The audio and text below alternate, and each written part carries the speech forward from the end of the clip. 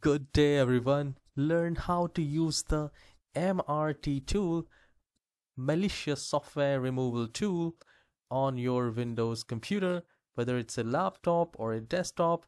And this MRT tool on Windows to solve all your Windows issues in just minute.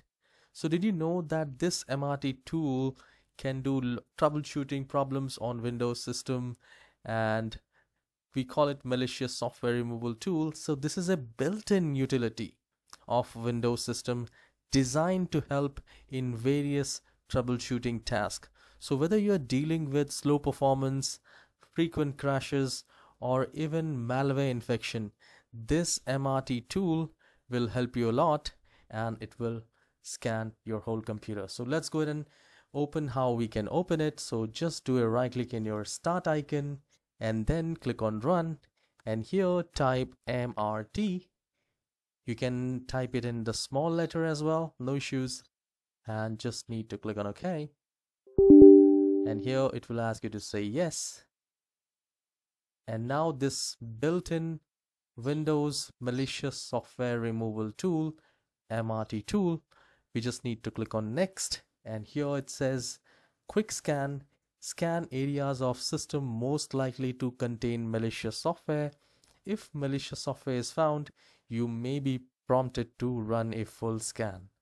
Now full scan the entire system. Now this scan might take several hours on some computers. Uh, I mean depends on the computer, the processor and RAM and everything. So we will go and do a quick scan and it will start scanning your computer and once it is done you just need to click on next and finish and you just need to restart the computer. So we can see right here file scanned and you will also see if there is any files are infected.